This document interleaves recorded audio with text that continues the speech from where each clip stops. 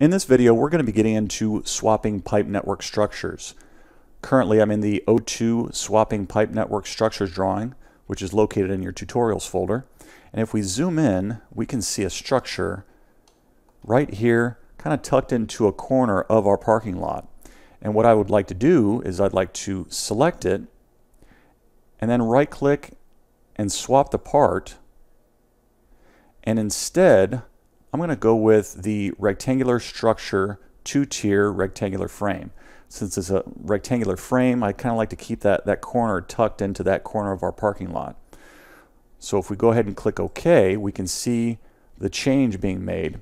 We can see a rectangular frame up at the top, and we can see a large rectangle for the base of our structure. If we go into a top view, you can see the base of our structure is a little bit oversized. It isn't exactly tucked into the corner of our parking lot, which is okay. The only thing that we need to worry about is just the top frame. So if we go back into the Southwest isometric, what we can do is we can type in M for move, select our structure, press enter, and then we're going to click the endpoint of this corner of our frame and tuck it right into the corner of our parking lot.